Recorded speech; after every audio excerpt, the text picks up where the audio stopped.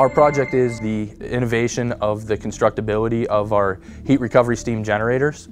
Um, with what we've done, uh, we've developed a new product, really just advancing the uh, constructability of our units. It's come with the U.S. market changing and becoming more concentrated on what we call total installed cost, which is involved not only the equipment cost and the delivery to job site, but now the uh, constructability of that is also a portion of that which leads to the total installed cost. So what we've done is worked with our clients, uh, looked at different opportunities to move field labor that would have been in the erection cost into the shop labor, uh, reducing the overall installed cost of the product.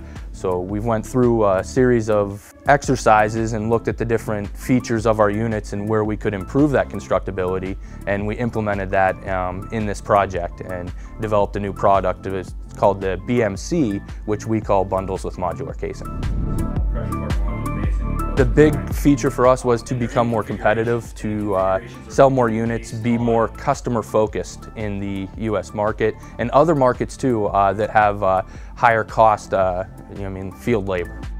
I say the U.S. market because that's where it was targeted at first, but the features and the uh, studies that have been going on along with it um, can prove successful and beneficial in any high-priced labor markets. So um, Canada, um, Mexico, um, other markets where the field labor and the cost of doing business in you know, I mean, the construction field is rising, it becomes a beneficial product to offer.